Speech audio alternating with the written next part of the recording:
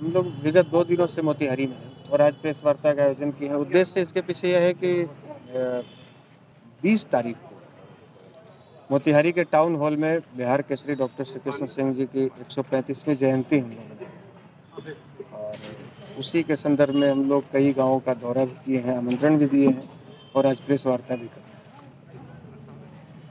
एक अखिलेश प्रेस वार्ता तो अब फिर से बता दीजिए सर। हम लोग जी। नहीं साफ़ कर रहे हैं जी। सर मोटिव जो है हाँ हाँ। सर का कुछ सवाल था उसके बाद है, पहले आप बताते चले जाइए।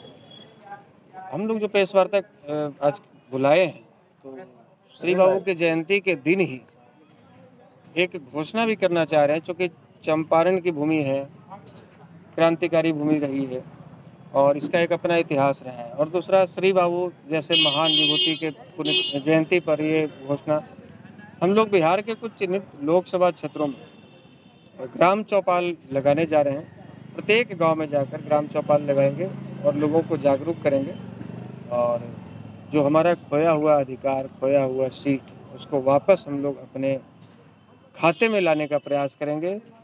अब वो दलें जो हमें बंधुआ मजदूर समझ रही थी, वो दलें जो हमारी मजबूरी समझकर किसी और के खाते में डाल दी थी अब वो चाहे हंस कर दे दे चाहे उनसे छीनना पड़े लेकिन इसकी तैयारी में हम लोग लग गए।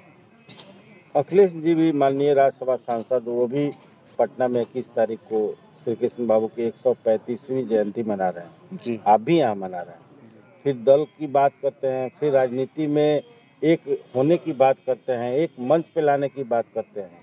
तो ये एक ही विभूति का दो दो जगह तीन तीन जगह हर जगह इसका क्या हम तो चाहते हैं कि कैसे परिभाषित हम तो चाहते हैं कि हर ज़िले में, हर प्रखंड में, हर गाँव में श्री बाबू की जयंती मनाई जाए।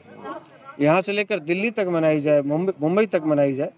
और माननीय सांसद महोदय विगत कई वर्षों से मनाते आ रहे हैं पटना में। हम लोग भी लगभग पाँच छः वर्षों से मनाते आ रहे हैं। और वो बीस, इक्कीस तारीख को मना रहे हैं। इक्कीस तारीख को एक्चुअल उनकी जयंती इक्कीस को ही है, लेकिन महापुरुषों की जयंती साप्ताहिक चलती है मतलब सात दिन आगे पीछे तक लोग मनाते हैं। तो किसी को कोई समस्या न हो किसी को कोई व्यवधान न आए किसी के कार्यक्रम में इसलिए हम लोग एक दिन पहले ही 20 तारीख को ही मोतिहारी के टाउन हॉल में मना ले रहे हैं। और जिनको सम्मिलित होना होगा इक्कीस तारीख को वो पटना भी सम्मिलित हो लेंगे। जिनको सम्मिलित होना होगा यहाँ भी हमारे एक गार्जियन अभिभावक हैं भूमिहार ब्राह्मण छात्रावास के जो संरक्षक हैं, वो भी कई वर्षों से लगातार मनाते आ रहे हैं। उनके भी कार्यक्रम में लोग जा सकते हैं। मतलब राष्ट्रीय जनजन पार्टी मोतिहारी में मनाया जा रहा है। जी हाँ राष्ट्रीय जनजन पार्टी मोतिहारी मना रही है और कल के डेट में तो मतलब अगले दिन 21 तारीख को हम हाजीपुर में मौजूद रहेंगे वहाँ अपने टीम के लोग मना रहे हैं और बाकी जिला मुख्यालयों में भी श्री बाबू की जयंती 21 तारीख को मनाएँगे